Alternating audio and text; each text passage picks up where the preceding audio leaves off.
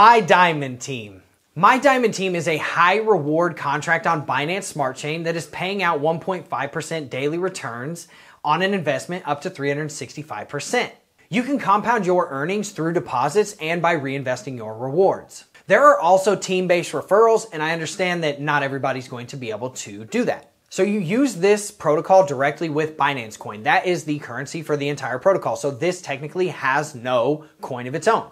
Now, the principal deposit cannot be withdrawn. Only the rewards and the referral rewards can be withdrawn. Each deposit cycle is 365%. Now, when 365% is reached, that cycle is complete and you can actually deposit more money if you want to in order to increase that max payout. Now, if you compound your deposit of one Binance coin for 365 days, a full year, that would turn into 2100 Binance coin.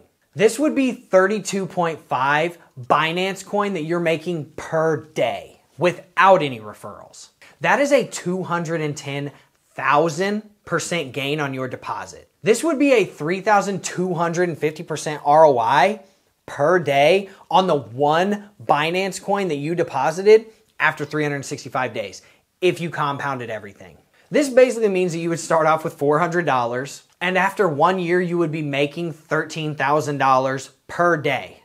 Yeah, okay. So, by the way, the max payout is 80% of your deposit. That means what you can claim is only 80% of your deposit. So you can't let your rewards stack up too much because say you've got one Binance coin that you started off with and that's your deposit and then it stacks up every time it gets up to 0.8 Binance coin you need to be taking your profit because once it gets up to like, you know, 20, it'll take you like 40 some odd days to get all of your money out because you can only take 0.8. So just beware of that. So this is actually genius and I really like this idea. So kudos to them for doing this because this makes people really like think, hmm, should I take the 80% every time I get 100% ROI? Should I just take out the 80% and then reinvest the other 20%?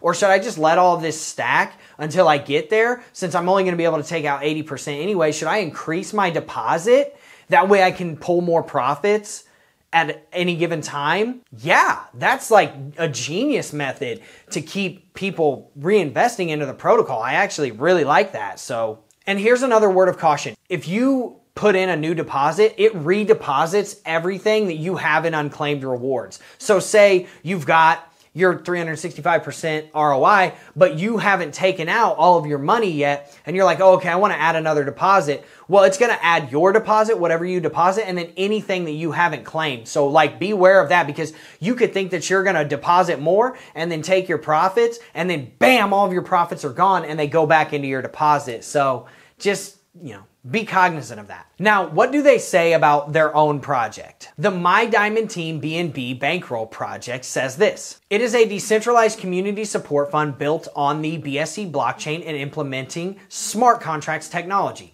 My Diamond Team smart contract uses this technology to help participants reach financial independence. When a participant deposits BNB into their system, that contribution supports the community. This activates the contract code, which supports that contribution in turn. Now, I do like the fact that they warn people about the protocol being a Ponzi scheme.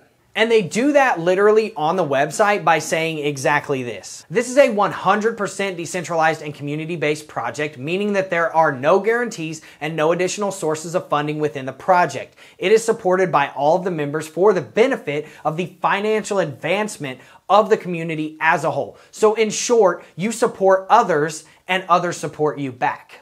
I like the fact that they disclaimed that because it just shows that they're being transparent about the fact that other people are paying you. So I like that. Now, how do you make money?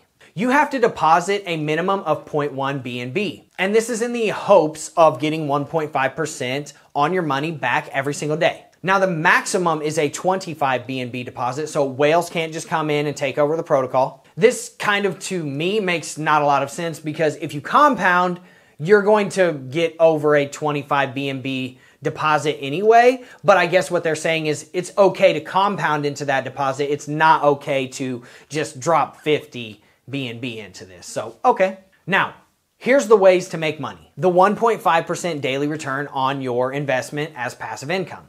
There's a 5% direct referral commission. You also get a 5% bonus if you reinvest your profits. So say you have like one BNB that you have in your rewards wallet and instead of pulling it out, you say I want to reinvest it, then it'll actually put in 1.05 BNB for you.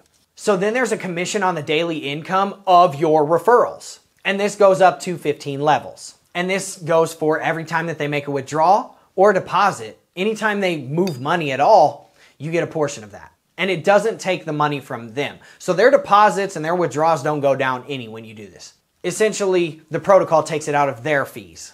Now, for level one through five, you have a 10% commission. For level 6 through 10, this means people that are like 6 degrees of separation or more from you, it's a 7%. Then level 11 through 15 is 5%. So your direct partners are one level below you. Then the people that they refer are two levels below you, then the people and so on and so forth. You see what I'm saying? And you can have up to 15 degrees of separation. The daily top referrer pool is 3% of all deposits. That gets set aside in the pool, and then every 24 hours, 7% of that is shared to the top four people in that referring volume. So the top person gets 2.5%, number two gets 2%, number three gets 1.5%, number four gets 1%. So here's their fee structure there's a 10% fee for investing, and there's a 10% fee for withdrawing. So your deposit stays as it is. The tax for investing is paid by the protocol and then the tax for withdrawing is paid out of your available balance. So you receive 90% of your withdrawable amount, which you can only receive 80% of whatever your deposited amount is. But it's not your actual deposit. I'm saying you can only pull out up to 80% of what you initially deposited in rewards that you've accrued, but you'll only get 90% of that.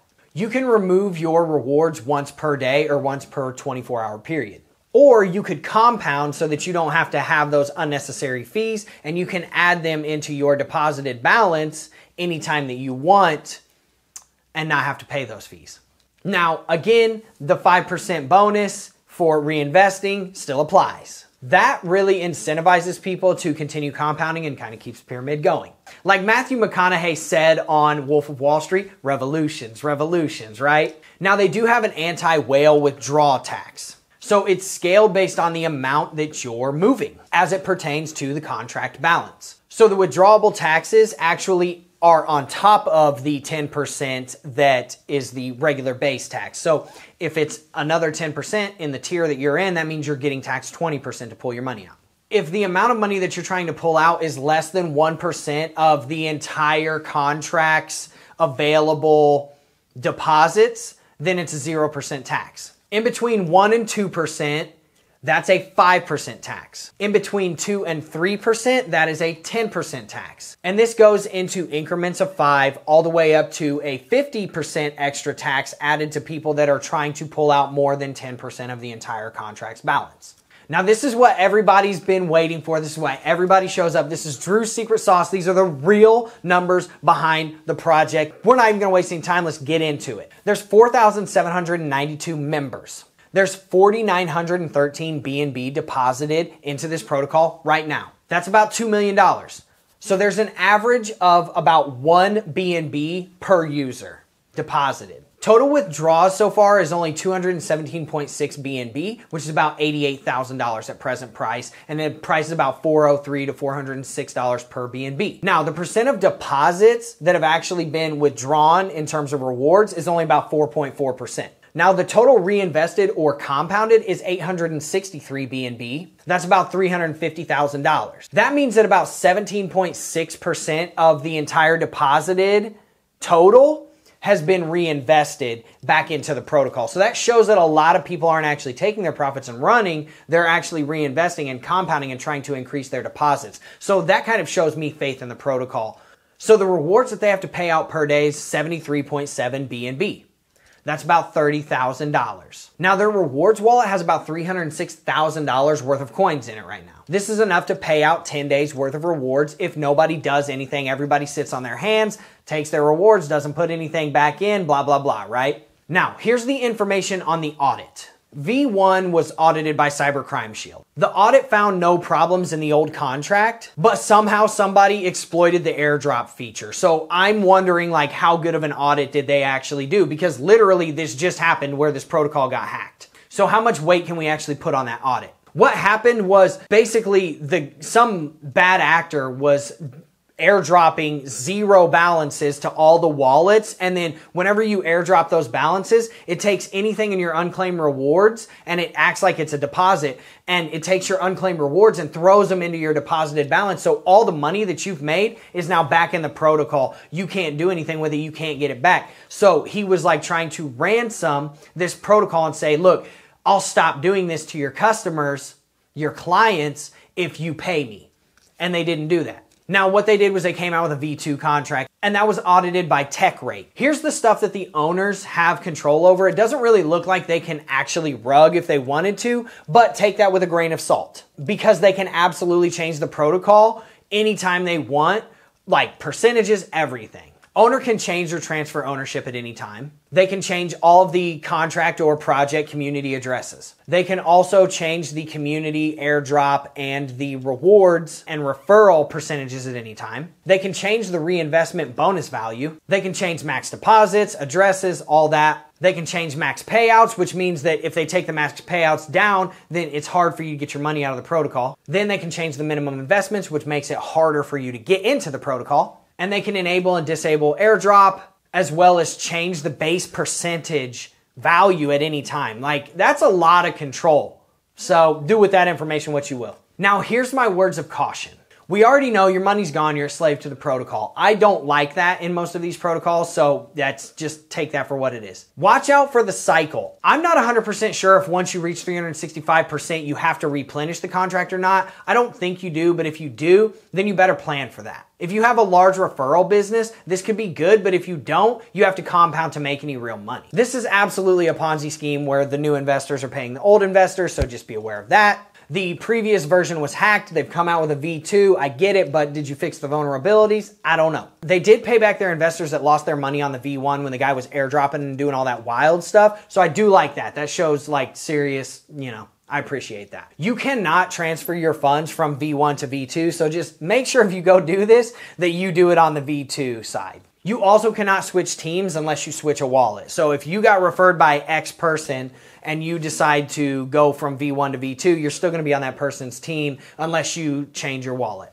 Now, the V2 thing, in my opinion, has ring vibes to it, but I don't necessarily think it's ring because it's not like they rugged. They did have a vulnerability in their protocol and they fixed it and then they said, okay, come over here to V2 and we'll help you integrate. But the thing that would have been nice in helping people integrate is merging their V1 to their V2. And the last thing is this has only been going for a couple of months. So just make sure that you take that into account and that you're in it to win it. I'm literally going to put point one BNB into this project. So if you want to help support the channel and you want to jump in this with me, it's literally $40 is all I'm putting into it. That's all I'm willing to risk because I don't know much about this thing. Like until we get further and deeper into it, I'm not going to put like $400, $4,000 into it. It's just not happening. So I put the bare minimum in. If you want to help support the channel, use my referral link. I appreciate it. Um, we can all, you know, go out and try this together. I'm using it as a case study, which is why I'm not putting a bunch of money into it. Now I will let everyone know how that goes.